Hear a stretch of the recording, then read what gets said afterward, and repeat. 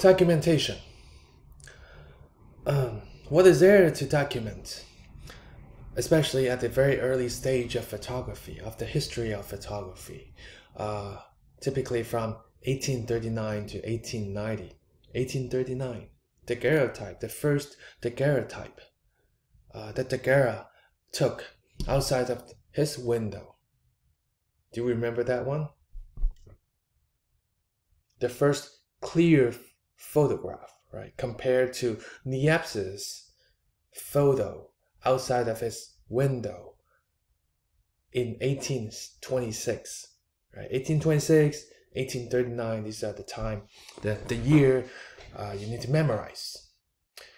Well, what is documentation? What is document? Well, the term documentation has come to refer to pictures taken with an intent to inform rather than to inspire or express personal feeling. It's not there to to to offer some kind of to to to to arouse you to some kind of romantic expression of something. No, it's supposed to to to be recording of life, of reality. And and I, I want to give you a, a I want to remind you of a little bit of the context, very important context. That is the industrialized, the industrialization that was happening, that was heated up uh, in, in the middle of the 19th century. Right, and that is that that's when photography was invented, and then later, uh, as the industrialization progressed, uh, people used photography to expand the science and knowledge of the vis- of the visible world. Especially in France, especially in the, what we call the uh, Haussmannization, the re the demolition and then rebuilding, almost rebuilding of the of the entire city of Paris. Enlarged the role a lot of the the very grandiose, the very large uh, projects, city projects were underway during this time. And photography, right, and photograph was used for the first time to document this process, or if you like, this progress of the city, of the modernization of the city that was happening at the time in Paris. So uh, I want you to, well, well, I want to ask that question with you uh, throughout this uh, week as we are going through this uh, slides. I want to remind you of one question. That is, is it documentation, photography, right? Just taking a picture of things, right? Is it a passive, pure recording of life, of the world, of the reality? Or is it a way, a creative, a new way because it's new technology. So it's a new way of accessing the world. Remember John Berger's this ways of seeing. There are so many ways of seeing the world. Is our way of seeing the world through this documentation. In this in this case, photography, right? Uh, uh, photographs, series of photographs is it really a reflection of the world? Or is photography an active, a proactive way of creating a narrative, of telling you this is how we should understand these events? If that is the case, then it gets very uh, complicated because people can manipulate photography can manipulate the way you take photograph, how you take it, what to be included and what to exclude, right? And offer you a, a kind of world that serves their intention.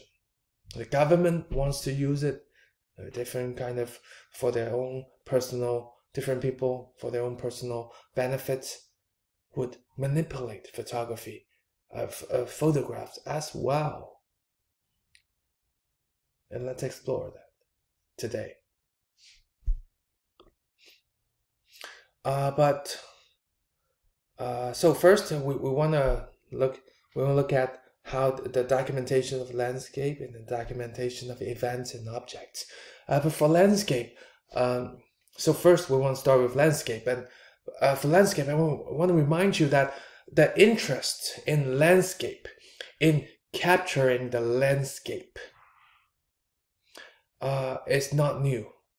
Its photography was new in the 19th century, but the interest in that it's not new, but it's just a way of capturing the landscape that's different. Painting, the most common way before photography came along, was, it was painting that that uh you know people painted the landscape, uh, and there was even a, a, a period, a movement, a movement for that that is uh, romanticism. That that was uh, that started during the Enlightenment. That that uh, that artists or philosophers they celebrated uh, through text and visual painting, celebrated the power of reason, uh, celebrated especially. Um, oh, excuse me. The philosophers, right during the Enlightenment, they celebrated the power of reason, but to the opposite, it was it was romanticism, romanticism that followed the, the celebration of the reason. That is the celebration of the emotion right? That is kind of like uh, to balance that that uh, that ex, ex, uh, extreme extreme uh, uh, pursuit of reasoning right? There you need to have something to balance it. That's romanticism that came after the enlightenment to celebrate emotional express uh, emotional expression right follow your heart or how the, the grand the grandeur, the the the um, power of your heart, of your of emotion. Champion the human liberty, right? Celebrate the nature, the rule life, the of life, right? Not so much of the intellectual reasoning, right?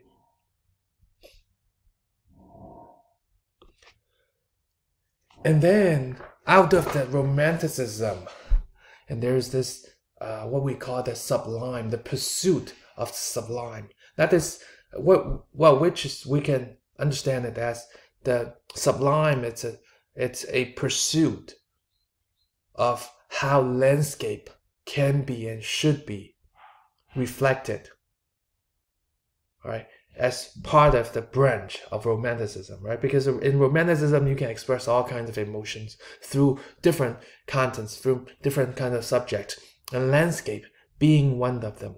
But how do you express your emotion through landscapes? How about to how about through the aesthetics of sublime? How about to to focus, to amplify that passion of irrational is compared to rational, the very rational reasoning in enlightenment. Sublime, this is the uh, focuses on the irrational exerts of powerful and awesome force on people. How the nature is, is so is much greater, much more um, uh, omni powerful than people celebration of the sublime, the grandeur of nature. Let me give an example. Uh, this is a celebration of the sublime, of the grandeur, of the violence, of the extreme expressive uh, power of nature in the middle of the storm, the slave ship by J.M.W. Turner, by this artist who's known for his work to express the aesthetics of sublime. Right, the, the slave ship was turned upside down. The slaves and uh, as well as other goods on the ship and uh, were uh, in the sea, in the swirl of the sea, in the swirl of the storm. You see the fish, the waves, very violent, and the light coming through this foggy these waves. The nature is so powerful that in front of it, we human, we look so uh, tiny, first of all, in terms of the size, and second, so trivial, so not important, so close to nothing, so vulnerable. The contrast between the nature and human. To express that feeling of grandeur, of sublime. And that is how people were interested in nature at the beginning. And then photography came along. So, for example, this uh, photography partners, Southworth and Hawes, they worked together, 19 years of partnership to photograph the the natural uh, uh, monuments, the natural uh, scenes, the famous, uh, the, the natural scenes across the United States. And then it was these scenes that after they're photographing, after they're photographing them, became um, became famous and became uh, visited by uh, you know more and more tourists. People started to get to know these places because of the sublime that they that transpire in them.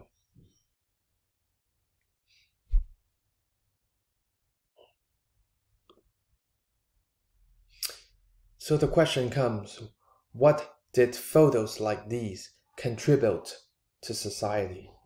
How did they function? Who, if these photographs were ever purchased, who typically purchased landscape photography? Who are the intended audience? The general public? Right? Congress declared the first national park in the world at Yellowstone in 1872 due to the photos such as these ones, the Niagara Falls, these ones, the, Congress declared national parks. So what's the function of this landscape photography? National identity, the the the admiration, the re-recognition of nature and through the nature, through this land, in, in, in the case of US, through the US land and Yellowstone, Niagara Falls, while our country ha- has so many uh, magnificent places, natural resources, we should love it. We should love this country. This is part of our, identity. We love this country because of this, uh, because it's beautiful, simply.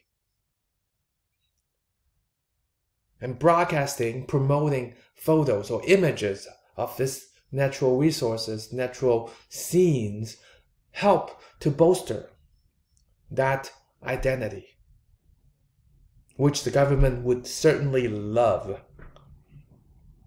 It's like some kind of patriot, patriotic ed- education, didactic education that you should love your, uh, your, your nation, your country it's no different in this light. It's no different than like national anthem, like the national flag. What do you think? Would you agree with me?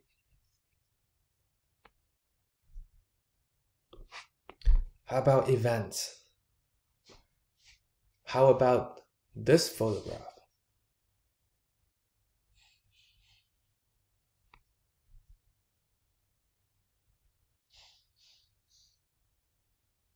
What's the scene? A sad, a happy scene? People are joining hands in the middle. What's the focus of this photograph? I, I suppose it's, it's, it's, it's in the middle because all the lines, all the vantage point, right? The for, the composition of the photographs tells you, right? One train on this end and the other train on the on the right, and then people this line, uh, all drawing your attention to the middle where these two engineers or the or whoever the, the you know or the directors of the railroad uh, transcontinental project railroad project they are shaking hands joining hands. And then on top of them right as we follow the vantage point to a bit further then we see the champagne cheering the champagne. Right, that's it's a celebratory occasion that workers focus on a lot of workers they're posing in front of the camera. Uh, there are some uh, dignitaries there's some other workers who were who've been working on the railroad for so long and finally after so many years the east and the west the transcontinental railroad they met at one point the last rail were placed at this time at this place where is this place? Meeting, that's a title. Meeting of the rails at Promontory Point, Utah in 1869. Right after the Civil War. It's important to not to to to join right the east and west the north and south to unite all the states all the people together as one nation, joining hands of the East and the West is important to, to advocate, to, to inform people in the East where they were heavily populated, populated compared to the West, pretty desolate in the West, right? Uh, to uh, ask the people in the West to to to inform them the West, the beauty of the West, to go and explore in the West, which is also part of this nation. And now the transcontinental railroad is completed. They can travel. You should use this railroad, railroad, right? Like a promotion, like an ad, to to travel to the West to explore the West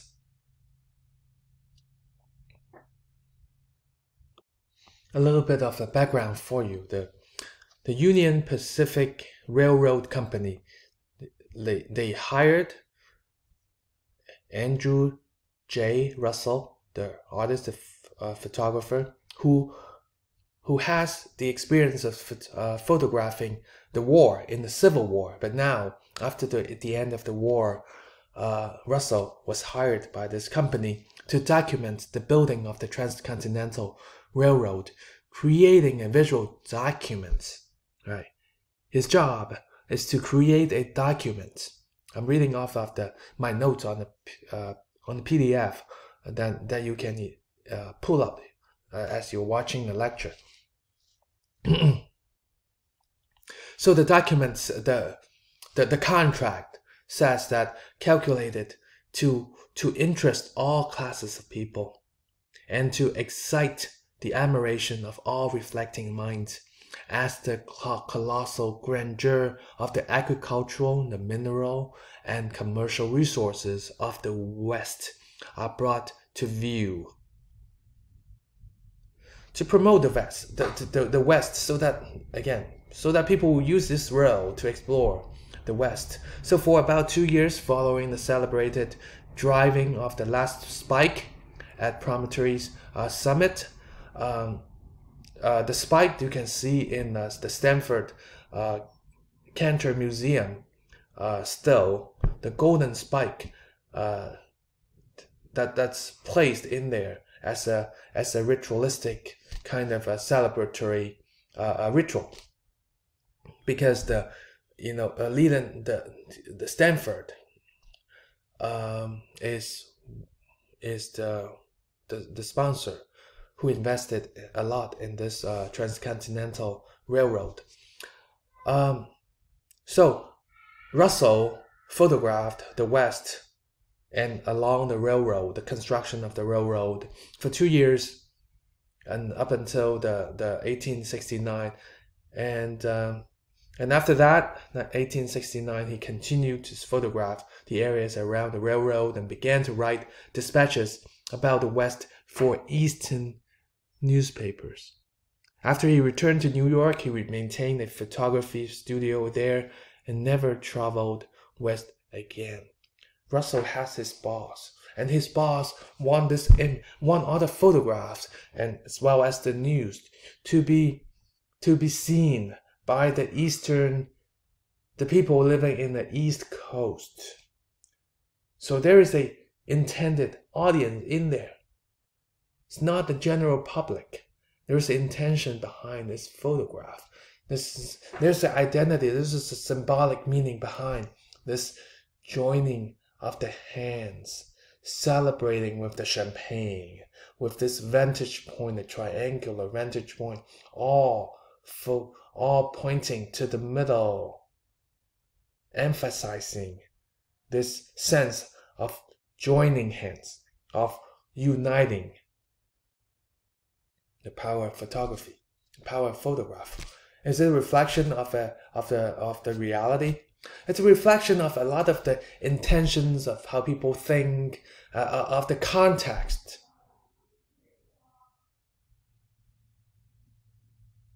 Along with many other things, right?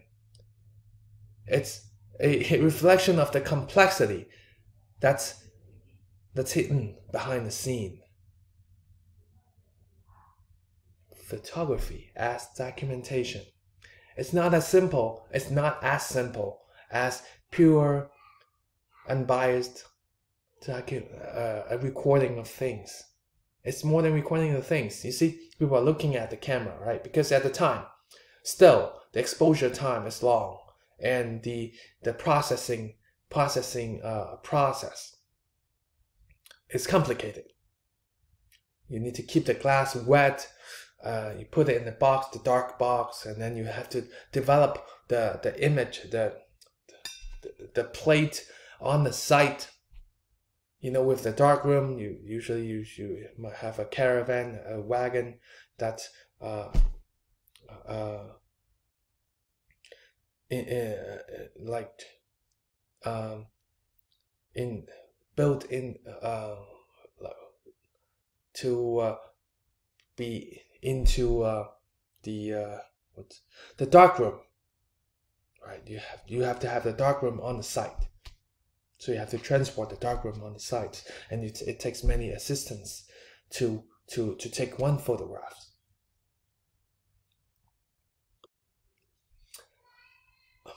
And then again, camera documentation. How how does camera document then events or objects well, again, I want to remind you again, it's during the in the midst of the industrial uh, revolution, the industrialization of the uh, entire Europe.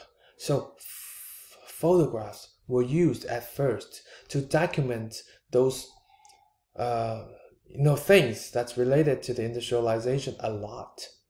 For example, um, every year there's a uh, this exposition, the global uh, excluding well, but mainly in the Europe, uh, industrialized uh, exposition fairs every year uh, to for uh, each country to show the technology advancement, to show things for the, their own country, to advocate for their own country in the exhibition to the world. So, for example, in 1851, there's this famous building, the Crystal Palace in London uh, the Great Exposition. Uh, many countries came exhibit uh, to, to participate in the exhibit. In the building of this crystal palace, it's in itself a a uh, a, a, cha- a champion of the industrial the the the result of the indus- industrial revolution because it's the use of glass, tempered glass, the use of uh, glass to build a, a, a huge construction project. A, to build a space. That's for the first time to use these many glasses and in many shapes in many angles. So by itself is you know the building by itself is already a celebration of the industrial revolution of the new technology. And the new technologies of course photography being one of them. Um, and then photography was used to capture the building right?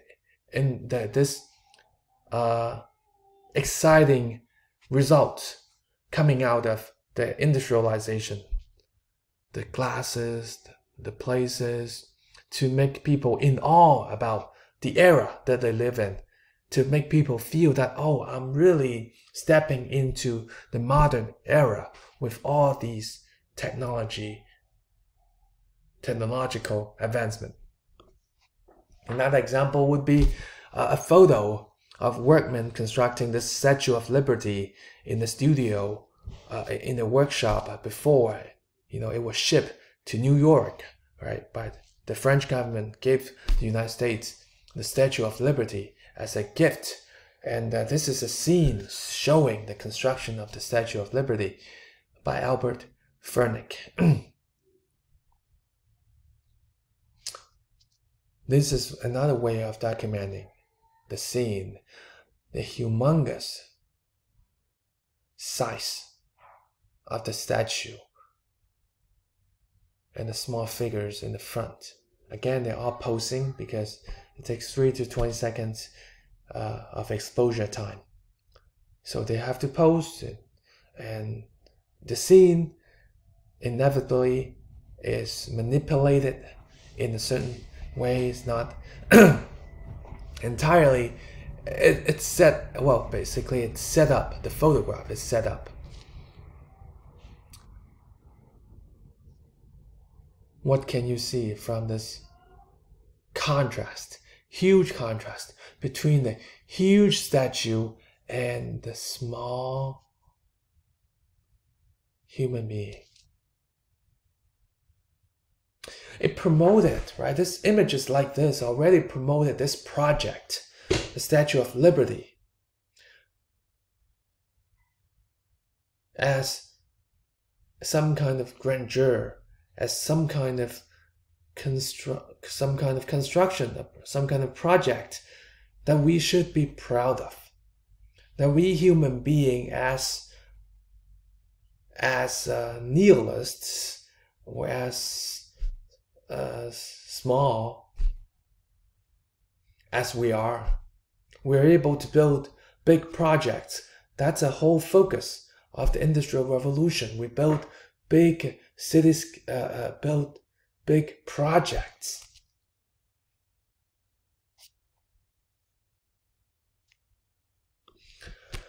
How about documentation of the war? What would it, what would it be like? But I want to remind you one thing that is, uh, first of all, the documentation of the war didn't become feasible until the collodion era, which we mentioned in the last in, in the last module. Uh, because it has to be more portable than transporting this whole darkroom to the to the war zone, uh, transporting all the all, all the equipment to the war zone. That's not feasible. So you have to wait till the collodion era. You have the negative. You have the uh, to develop the pot. You can wait till you go back to the darkroom to develop the positive and the collodion, making the print, the, the developing the plate more uh, portable, so that you we can transport it across different war zones, across different uh, uh, battlefields. And another thing I want to remind you is that in the 1850s and 60s, photography was an extremely deliberate process. I want to remind you that sometimes the war, the reflection of the war might not be so uh, at the moment. It's more of, uh, you know, sometimes you see props like a gun uh, at, at the side, different objects being moved, moved around. Soldiers might pose to be dead or shooting uh, to to to reach a certain uh, planning before capturing the photograph. It's not what we what we might think as naturalistic as realistic. For example, uh, well, first of all, the Crimea, the, the Crimean War was actually the first war to be photographed, and Roger Fenton was hired by the British government, the British Army, to photograph in this war. And you can and and uh, go to a textbook to read some kind of scandalous uh, uh, anecdote about why Fenton was hired by the by the army to photograph. Right? There's some kind of intention uh, behind it, that photograph, because you know uh, the army was reported, right? The news reported the army uh, uh, didn't treat the, the, the their soldiers well in the front line, and there's some kind of uh, arguments, conflict in the front line, and they really, you know, that really hurt the reputation of the army, and the army wants to Fenton to go into this war, to battlefield, and and and take pictures and uh, uh, and provide to them this evidence, right? Visual evidence that the soldiers in the front line, the British soldiers in the front line, they're very, they're very united. They are in good shape, and to to, to in response to this kind of a bad rumor, in of course in service of their own interest, the interests of the British Army.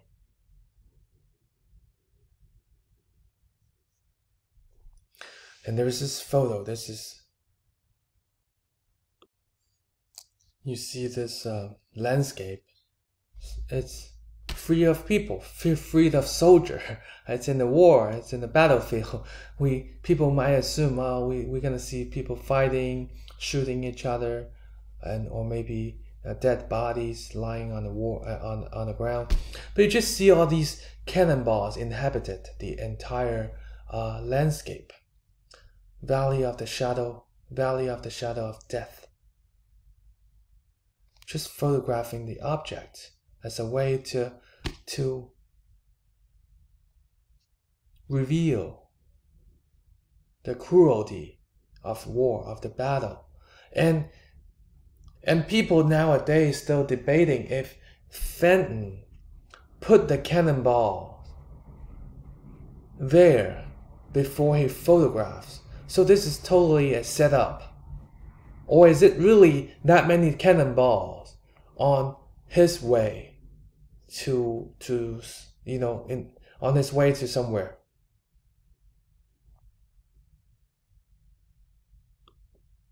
That's Fenton's photographic van.